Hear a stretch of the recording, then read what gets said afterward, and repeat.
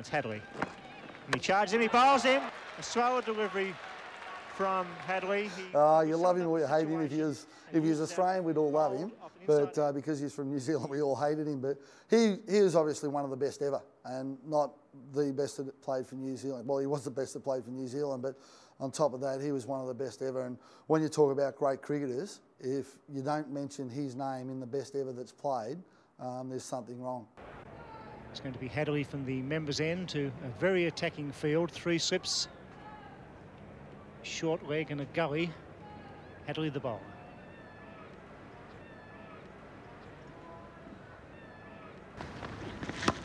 There's the hook shot. It's in the air. And Ewen Chatfield has taken the catch. A brilliant catch at fine leg. He's gone. Borders hit it. He's out. First ball after lunch. He's driven on the up to cover. He's gone. Yes. Beautiful piece of bowling. The talk before the game was how far Australia. And everyone just thought that Australia were going to win uh, that comfortably. And I suppose Richard Hadlee had other ideas. Oh, and that's got to be very close, I would say. That's out, yes.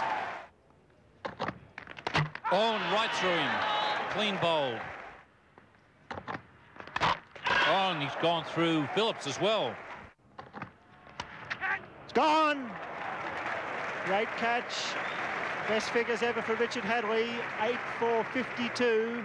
He got 15 wickets at the Gabba and he bowled magnificently and, and, it was the perfect Richard Hadlee pitch.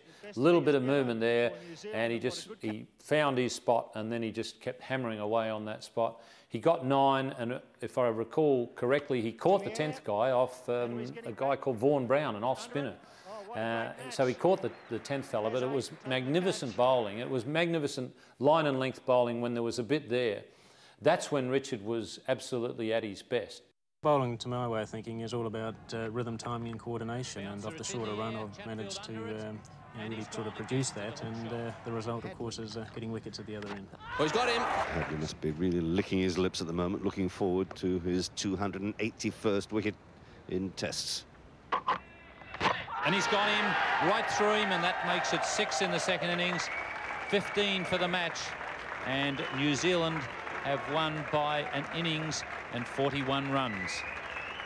A very happy New Zealand team, their first ever victory on Australian uh, soil. He responded very well to challenges. I, I know that he, he, sort of saw Dennis Lillee as the number one in the world uh, when he was sort of uh, not far behind Lillee. And uh, I know they had some great battles, particularly with Lillee bowling. And Richard used to like to whack him. I think he whacked him down the ground for six once.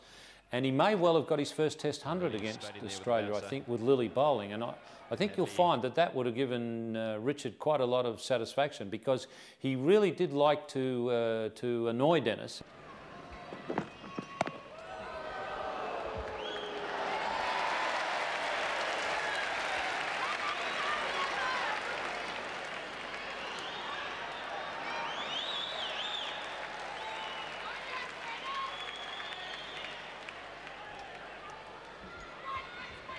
Once again. These two competitors are really at it, and uh, Hadlee now bowling a Dennis Lillee short run job, when Dennis is ready, of course.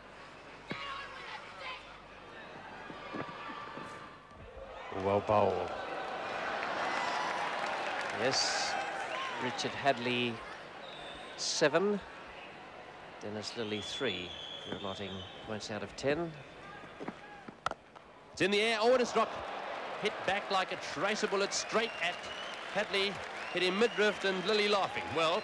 He was a bit like Lillee. I mean, Lillee was a tearaway to start with and then hurt his back and then really relied on uh, on, on rhythm and hitting the seam and, uh, and doing all the things that, that, great fast bowlers do. I think Hadlee did exactly the same thing. Uh, he was a tearaway and then he went to England and you couldn't bowl fast every day in England and I think he learnt the, uh, the art of bowling miserly and uh, and just doing enough. And he was a great bowler, Richard. I mean, just a great bowler. Make no mistakes. Oh, what a delivery. What a beautiful delivery. Went over the top of middle and leg. Wessels didn't offer a shot. He was a phenomenal technician. He was extremely disciplined, had enormous control over himself and what he could do with the ball. Um, and being a Kiwi, conditions tend to seem a little bit more there.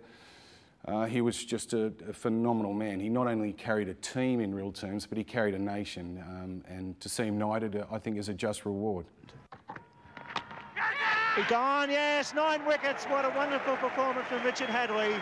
One of the all-time great performances at the Gabba. His teammates to congratulate the great fast bowler, and what a privilege it has been to watch that performance. Line length, experience, beautiful control.